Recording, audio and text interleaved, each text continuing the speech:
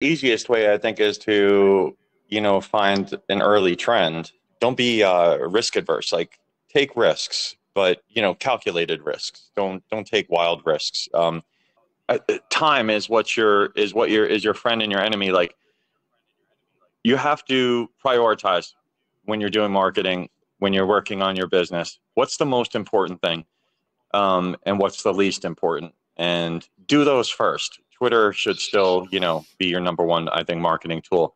You have always known how to make money. So tell us, enlighten us about that skill and how to find value. Uh, and I believe money is problems you solve. Money is infinite. The more problems you solve, the more money you get. The more value you give, the that much money you'll get. What What are your guiding principles on making money? Um, for me, I mean, the, the easiest way I think is to, you know, find an early trend um, and catch on to that. Um, but not everybody's good at identifying that. Um, I like to be be aware of what's going on, you know, in like whatever interests you, and like if you want to invest in technology or something, or make money in uh, real estate, you know, um, you have to get, you know, really into it. Like put your time into it, put your energy into it, and um, it's like anything else. Like you have to work hard, but it's not hard to make money when if you if you put the work in. Um, and I think believe in yourself too, and and and be uh, you know like uh, don't be uh, risk adverse. Like take risks, but you know calculated risks. Don't don't take wild risks. Um, don't risk what you can't um, uh, like it, like in this space, I spend money that if I if I lost it, I'll be okay.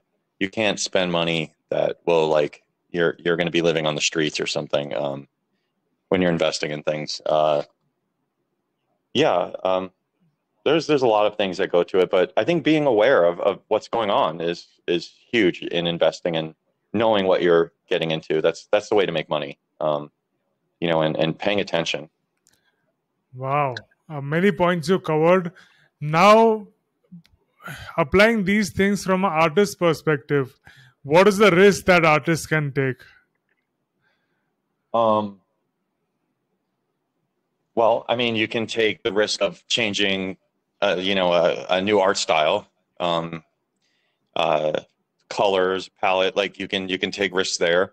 Um, new marketing, uh, uh attempts. You know, um, you you could. Re- there's so many things you can do. Um, get into uh, put put yourself like in uncomfortable situations, but not too uncomfortable. You know, like get into the spaces, but try to talk, try to speak.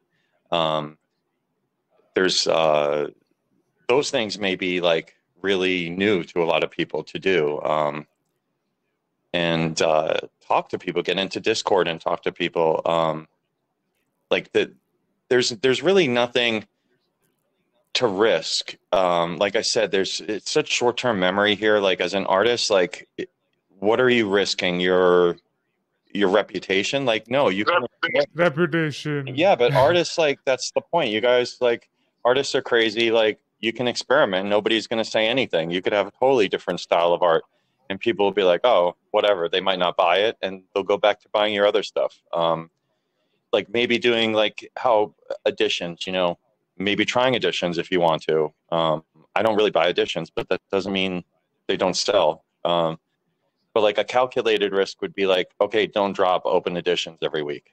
Um, you know, like just do it, like make yourself a little more exclusive.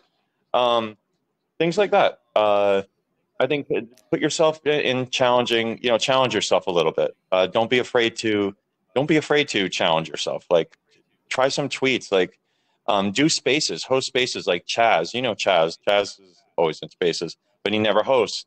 And he came to my spaces the other day, and I'm like, he's like, yeah. I'm like, just do it. Don't don't think about doing it. Do it. He's like, well, what if nobody shows up? I'm like, believe me, people will show up. And he had people show up. Like, yeah, just uh, try try. Just put a little effort in, and um, that's the best investment you'll make. And you know, uh, as you're saying, I have also made some observation, and I'm doing few things that I want to share with the audience.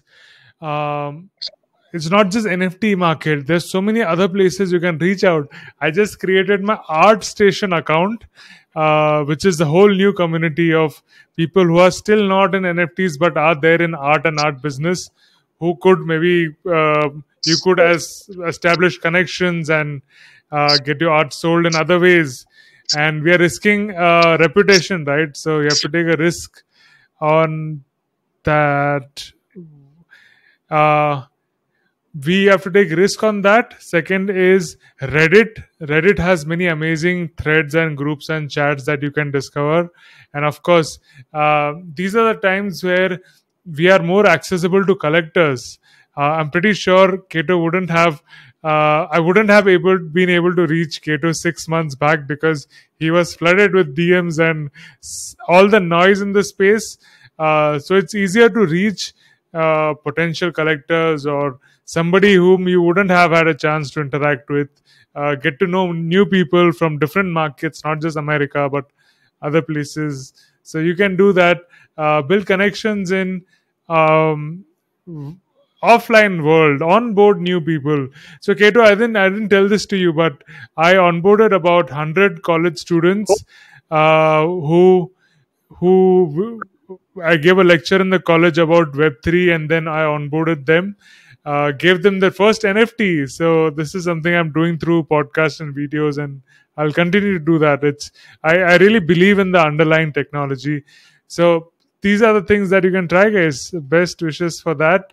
That idea is great, by the way, what you're doing, um, the onboarding. That's awesome. Um, I I just wanted to say um, about the uh, uh, time is what your is what your is your friend and your enemy like you have to prioritize when you're doing marketing when you're working on your business what's the most important thing um, and what's the least important and do those first twitter should still you know be your number one i think marketing tool and then as you have time stay off of tiktok and those things you know like instagram reels all that shit that wastes time. And take that time and go um, you know and, and, and try these other platforms you know list on multiple platforms or you're saying like um, in the uh, the physical art world whatever. All that stuff is great. Yeah. Okay but absolutely absolutely a lot of galleries also coming in i've never got a chance to showcase work around the world in such a short time uh, that was wonderful. And Kato, I organized a Beijing exhibition, which was hugely successful. So uh, the update on that oh, as cool. well. Uh, I'll be putting out a video on how on the movie after movie on that, and I'll I'll share it with uh, all of you. Stay tuned.